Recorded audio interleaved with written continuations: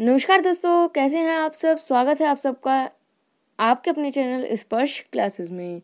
दोस्तों, आज की इस वीडियो में हम बात करने जा रहे हैं एक ऐसे टॉपिक की, जो कि पैडागोजी ऑफ़ मैथमेटिक्स के लिए तो इम्पोर्टेंट है ही। बाकी सभी जो पैडागोजी के सब्जेक्ट्स हैं, उनके लिए भी इम्पोर्टेंट है। साथ ही साथ, जो आपको एक नेक्स्ट एग्ज़ाम रह रहा है टीचर टीचिंग एंड टेक्नोलॉजी उसका भी एक मोस्ट इम्पोर्टेंट टॉपिक है। तो इस वीडियो को ध्यान से देखना इसलिए भी ज़रूरी होता है कि ये आपके कल के एग्ज़ाम में तो काम आएगा साथ में आने वाला जो आपका एग्ज़ाम है teacher teaching and technology paper four C C four का जिसका कोड है तो उसके लिए भी आपका मोस्ट इम्पोर्टेंट है। अगर आप इसको अब अच्छे से कवर कर लेते हैं तो तब जो टेक्नोलॉजी के पेपर में आपको प्रॉब्लम नहीं आएगी, क्योंकि टेक्नोलॉजी के पेपर का अगर हम सिलेबस देखें तो वो बहुत ज़्यादा है और उसमें सारा ही सिलेबस एक तरह से इंपॉर्टेंट लगता है देखने के लिए। उसमें कुछ भी हम छोड़ नहीं सकते। तो इसको अभी कर लीजिएगा कंप्लीट कर लीजिएगा। तो वीडियो को पूरी देखिएगा और ध्यान से देखिएगा साथ ही साथ दोस्तों, मैं आपको बता दूँ, जो दोस्त चैनल पर नए आए हैं, उनके लिए मैंने एक प्लेलिस्ट का लिंक डिस्क्रिप्शन में आपको दिया हुआ होगा। तो उस डिस्क्रिप्शन में के जो लिंक दिया हुआ है, अगर आप उस पर जाते हैं तो आपको पैडागोजी ऑफ़ मैथमेटिक्स की पूरी एक प्लेलिस्ट मिलेगी, जिसमें पैडागोजी ऑफ़ मैथमेटिक्स के सभी टॉपिक्स को यूनिट वाइज मैंने सीक्वेंस में लगाए हुए हैं। तो आपके अगर एग्ज़ाम की तैयारी कर रहे हैं तो आपके एग्ज़ाम की तैयारी में एक बार उस प्लेलिस्ट को ज़रूर देखिएगा। आपके एग्ज़ाम में बहुत ज़्यादा वो यूज़फुल होने वाली है। तो चलिए ज़्यादा समय न लेते हुए शुरू करेंगे आज के इस वीडियो को।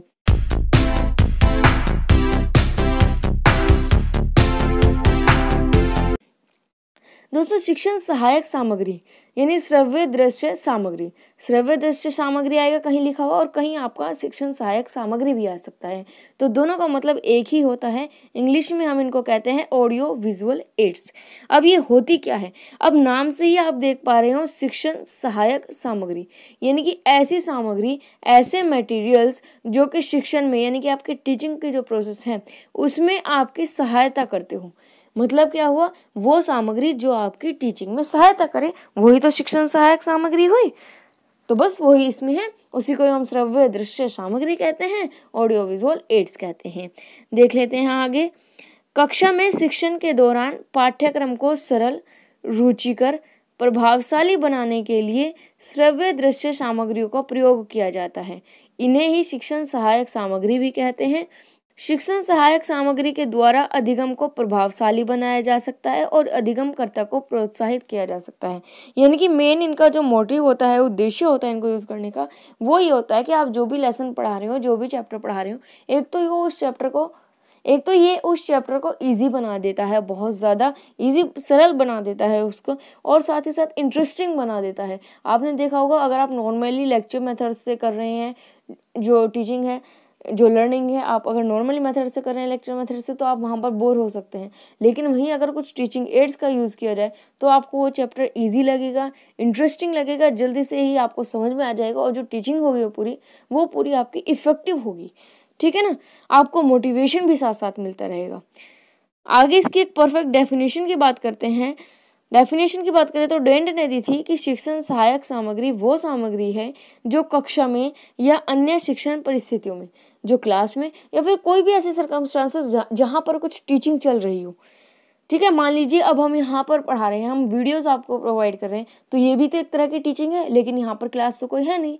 लेकिन ये भी एक तरह से कि ऐसे सरकम सरकमस्टांसेस तो है जहाँ पर टीचिंग लर्निंग चल रही है। टीचिंग प्रोसेस चल रही है, हम सिखा रहे हैं, आप सीख रहे हैं। ठीक है तो कोई भी ऐसी टीचिंग की सर्कमस्टांसेस हो, परिस्थिति हो, उसमें लिखित या मौखिक रूप से पाठ्य सामग्री को समझाने में सहायता प्रदान करती है। वही बात है कि वो सामग्री, वो चीज़ें जो कि पाठ को किसी भी परिस्थिति में लिखित रूप से हो रिटर्न वर्क में हो या ओरली हो, पाठ को समझाने में मदद करे। कुल मिला के यह है जो आपकी हेल्प करे, आपकी टीचिंग में, वो आपकी शिक्षण सहायक सामग्री है ऑडियो विजुअल एड्स है। क्लासिफिकेशन देख लेते हैं हम, शिक्षण सहायक सामग्री का वर्गीकरण। जो शिक्षण सहायक सामग्री है, वो तीन भागों में बांटी गई है। सबसे पहले है आपकी श्रव्य सामग्री। श्रव्य सामग्री यानी कि ऑडियो एड्स नाम से पता लग रहा है कि ऑडियो यानी कि जिनको हम सुन सकते हैं। मदद करती है, लेकिन जिनको हम सुनकर मदद लेते हैं उनसे। यानी कि, जो हम सिर्फ़ सुन सकते हैं, जैसे कि रेडियो हो गया, ग्रामोफोन हो गया, टेप रिकॉर्डर हो गया, अब हम इनको क्या करते हैं? सिर्फ़ सुन सकते हैं। इनमें कुछ देख तो नहीं सकते ना कोई टीचिंग मटेरियल सिर्फ़ हम उनको सुन सकते हैं और अपनी टीचिंग में हेल्प ले सकते हैं, अपनी लर्निंग में हेल्प ले सकते हैं। आगे नेक्स्ट है आपका दृश्य सामग्री, यानी कि विजुअल एड्स यानी कि कुछ एड्स कुछ सामग्री ऐसी होती है जिनको हम सिर्फ़ देख देख सकते हैं। उनको सुन नहीं सकते। ठीक है? जैसे कि कोई चार्ट पेपर हो गया या मैप हो गया, नक्शा हो गया, कोई हमने फ़ोटो दिखा दी, पिक्चर दिखा दी, कोई कोई साइलेंट पिक्चर साइलेंट पिक्चर से मतलब है जिसमें कोई आवाज़ ना हो। ठीक है ना? कोई मॉडल हमने दिखा दिया बनाकर। तो वो सभी क्या आता है? विजुअल एड्स में आ जाते हैं, जिनको हम सिर्फ़ आँखों से देख सकते हैं, उनको सुन नहीं सकते। ठीक है ना? और थर्ड नंबर पे आपका आता है ऑडियो विजुअल एड्स यानी कि ऐसे एड्स ऐसे सामग्री जिनको हम देख भी सकते हैं और जिनको हम सुन भी सकते हैं। जैसे टीवी टीवी को हम देख भी सकते हैं और सुन भी सकते हैं। टीवी से हम सीखते हैं, बहुत कुछ सीखते हैं। अगर सही इस्तेमाल किया जाए तो सीखने के लिए भी बहुत कुछ है। जैसे अगर आप नेशनल ज्योग्राफी चैनल देखिए या न्यूज़ चैनल देखिए न्यूज़ चैनल पर आपको डेली पता लगता है कि आपके जो देश है, दुनिया है, उसमें क्या चल रहा है। तो वो भी तो आपको नॉलेज ही मिल रही है इन्फॉर्मेशन ही तो मिल रही है। तो वो भी आपके शिक्षण का ही एक पार्ट कह सकते हैं हम उसको। या फिर हम इसका टीवी का जो है यूज़ उसमें भी कर सकते हैं शिक्षण में। कोई वीडियोस, आपने देखा होगा आजकल जो स्मार्ट टीवी आ रहे हैं या फिर सेटअप बॉक्स आ रहे हैं, कुछ में कुछ स्पेशल स्टडी चैनल आ रहे हैं। ठीक है ना? स्मार्ट लर्निंग चैनल आ रहे हैं, जिसमें इलेवन ट्वेल्थ बेसिस पर जो होते हैं लेक्चर चलाए जाते हैं वीडियोस दिखाई जाती हैं। तो वो क्या है? टीचिंग ही तो चल रही है वहाँ पर भी। कंप्यूटर हो गया। कंप्यूटर की मदद से हम सीखते हैं, इंटरनेट की मदद से हम सीखते हैं तो ये सब क्या हो गया? ऑडियो विजुअल एड्स हो गया। अब हम यहाँ पर हम आपको पढ़ा रहे हैं तो आप या तो मोबाइल पर देख रहे होंगे स्मार्टफ़ोन पर देख रहे होंगे, या फिर आप अपने कंप्यूटर पर देख रहे होंगे। तो कंप्यूटर की सहायता से आप टीचिंग लर्निंग कर रहे हैं, है ना? तो ये आपकी हेल्प करते हैं आपके लेसन को समझने में। श्रव्य दृश्य सामग्री क्या होती है, इसका अर्थ तो आपको पता चल गया होगा। नेक्स्ट हम देखेंगे श्रव्य दृश्य सामग्री, दृश्य श्रव्य सामग्री का सिद्धांत क्या क्या है, यानी कि प्रिंसिपल्स कौन कौन से हैं, जिनके बेसिस पर ये जो श्रव्य दृश्य सामग्री है, वो आधारित है। यानी किन किन सिद्धांतों पर आधारित है। सबसे पहला है चयन का सिद्धांत। प्रिंसिपल ऑफ़ सिलेक्शन यानी कि जब हम उन एड्स को सिलेक्शन कर रहे हो, उनका सिलेक्ट कर रहे हो उन्हें तो हम ध्यान रखना चाहिए कि हम किस क्लास के लिए सिलेक्ट कर रहे हैं। सिलेक्ट करते टाइम पे हमें बच्चों की उम्र, बच्चों की जो एबिलिटी है, उसके अकॉर्डिंग ही अपने एड्स को सिलेक्ट करना चाहिए। ठीक है ना?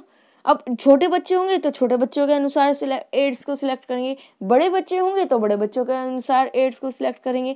छोटा सा बिल्कुल सिंपल सा एग्जांपल आप ले लीजिए, अगर आप चार्ट पेपर का यूज़ कर रहे हैं तो छोटे बच्चे होंगे तो उनको कार्टून टाइप से आप चार्ट पेपर पर, जो मॉडल पेपर पर हैं, उनमें थोड़ा सा कार्टून लुक देने की ज़्यादा से ज़्यादा कोशिश करेंगे, ताकि छोटे बच्चों को वो अट्रैक्टिव लग सके। अगर आप बड़ी क्लासेस में जाएँ तो वहाँ पर आप कार्टून देकर समझाएँ तो वो ज़्यादा सुटेबल नहीं होगा। वहाँ पर आप उनकी एज के अनुसार जो उन्हें सुटेबल है, उनके अकॉर्डिंग बनाएँगे। तो वही सभी जितने भी एड्स होते हैं, उनका सिलेक्शन हमें बच्चे की एबिलिटी बच्चे की उम्र क्या है, उसके अकॉर्डिंग करना चाहिए, बच्चे के इंटरेस्ट क्या है। दूसरा होता है प्रिंसिपल ऑफ़ प्रिपरेशन तैयारी का सिद्धांत। यानी कि जो भी हम टीचिंग एड्स यूज़ कर रहे हैं, उसकी हमें पूरी तैयारी होनी चाहिए, पहले से प्रिपरेशन होनी चाहिए कि किस तरह से हमें इसको यूज़ करना है क्या क्या इसका तरीका अपनाना है, वो सारी हमारी प्रिपरेशन पहले से ही होनी चाहिए। नेक्स्ट है आपका प्रदर्शन का सिद्धांत प्रिंसिपल ऑफ़ प्रेजेंटेशन यानी कि जब हम टीचिंग लर्निंग मटेरियल हमने ले लिया, ठीक है ना? हमने एड्स ले लिए, बहुत अच्छे अच्छे हमने मैप्स भी ले लिए, नक्शे, जहाँ पर जो चीज़ का यूज़ होता है, वहाँ पर वो ले लिए। हमने मॉडल्स भी बना लिए, ठीक है? हमारी उनकी तैयारी भी हो गई। अब नेक्स्ट स्टेप पे आता है कि हमारी प्रेजेंटेशन कैसी है।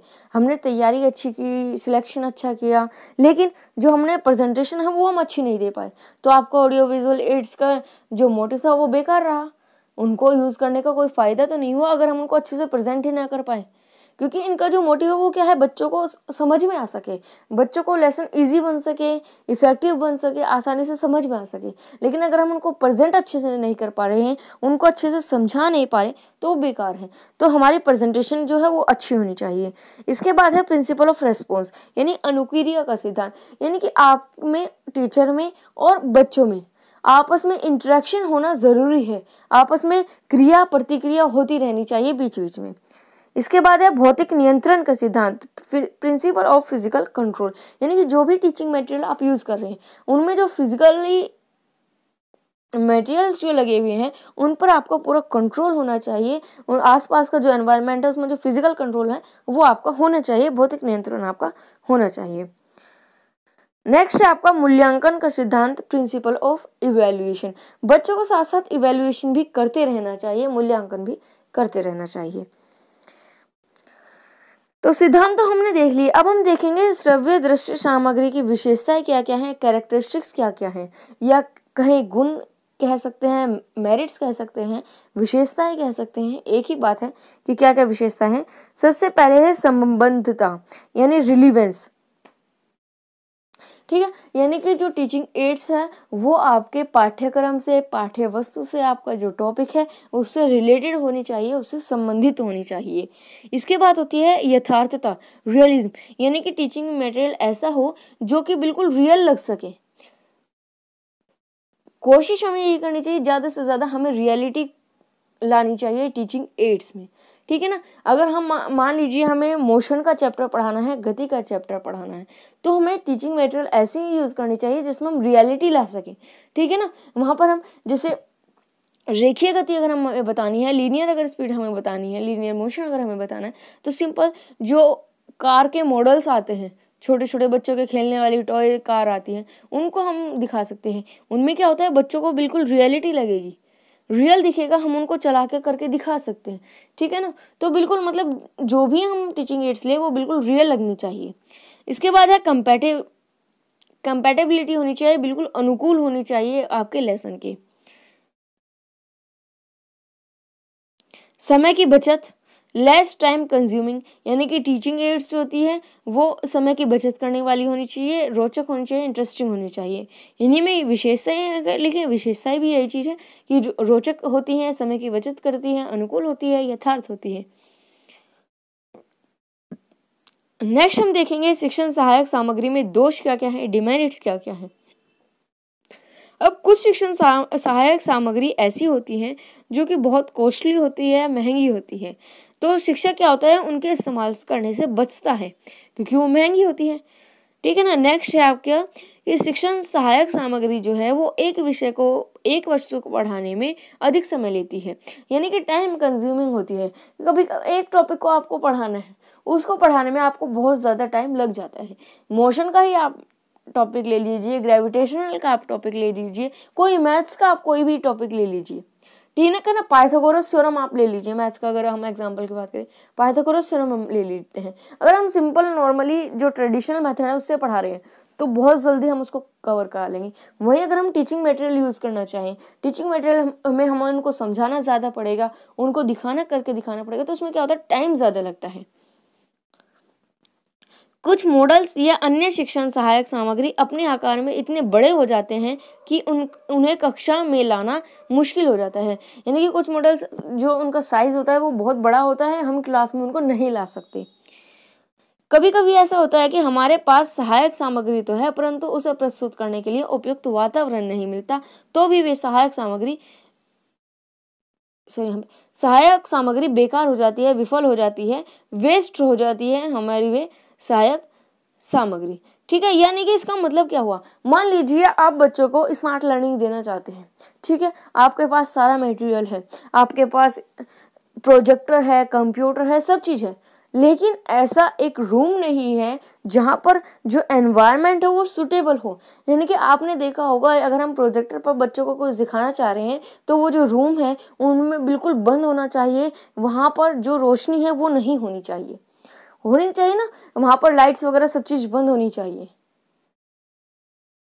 बिल्कुल अंधेरा हो तभी तो प्रोजेक्टर पर आप अच्छे से दिखा पाएँगे, बच्चों को समझा पाएँगे। लेकिन अगर आपके पास ऐसा एनवायरनमेंट नहीं है तो आप उनको यूज़ कैसे करेंगे? आप बिल्कुल रोशनी में उनको रख दीजिए तो जो बोर्ड पर है प्रोजेक्टर पर है, वो बच्चों को कुछ दिखाई ही नहीं देगा। दिखाई नहीं देगा तो आपकी जो टीचिंग एड्स है, वो बिल्कुल बेकार रहेगी। ठीक है ना? अगर दोस्तों वीडियो आपको पसंद आ रही है, आपके काम आ रही है तो वीडियो को लाइक ज़रूर कीजिए और अपने दोस्तों के साथ शेयर कीजिए। वीडियो के बारे में आपके जो भी ख्याल हैं फीडबैक्स हैं, वो आप कमेंट बॉक्स में दे सकते हैं। तो ये था आपका ऑडियो विजुअल एड्स दृश्य श्रव्य सामग्री। पैडागोजी के सभी सब्जेक्ट के लिए इंपॉर्टेंट है, साथ ही साथ टीचर टीचिंग एंड टेक्नोलॉजी का जो सब्जेक्ट है, उसमें भी बहुत ज़्यादा मोस्ट इंपॉर्टेंट आपका टॉपिक है। इसको आप ज़रूर ध्यान से देख कर करके जाइएगा। अच्छी लगी तो लाइक कीजिए, जो दोस्त चैनल पर नए हैं, वो इसी तरह की और लेटेस्ट अपडेट पाने के लिए चैनल को सब्सक्राइब कर बेल आइकन को दबा लीजिए, ताकि आने वाली वीडियो जो भी मैं अपलोड करूँ, उसके नोटिफिकेशन आप तक पहुँच जाए और आप किसी भी वीडियो को मिस ना करें। आज के लिए बस इतना ही। मिलेंगे आने वाली वीडियो में। आज के लिए धन्यवाद।